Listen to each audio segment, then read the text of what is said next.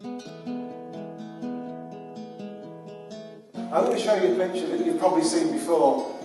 And then I'm going to ask you a couple of questions about it.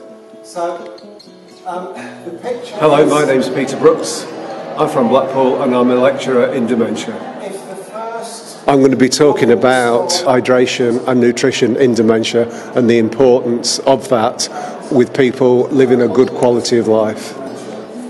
My plan today is to use members of the audience. In dementia is that people's vision alters quite considerably.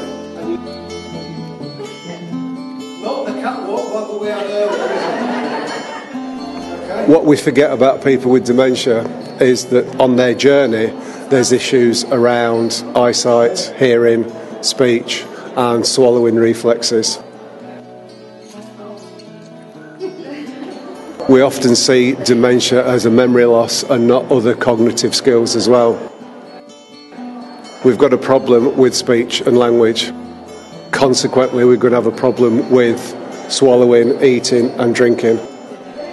My talk today is about how to overcome that and live a quality of life. Yeah, can you give a round of applause? That was really good.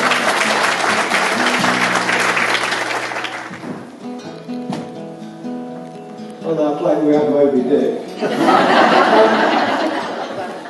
but if you've got dementia and you were looking through those glasses, that's what you'd see.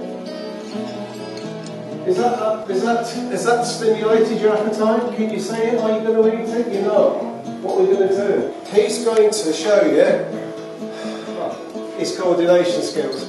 So can you hold your nose with your right hand and your left hand on your ear? Okay, I'm going to count to ten and you're going to swap them over. Are You ready? And let's go. One. Years ago, I used to manage services for people with learning disabilities. And about 20, 25 years ago, I went to a conference about learning disabilities and the effect that dementia was having on people with learning disabilities. Up until then, it was not known. And I was supporting older people with learning disabilities that went on to develop dementia, and it was just a route from there. So, from learning disabilities into dementia.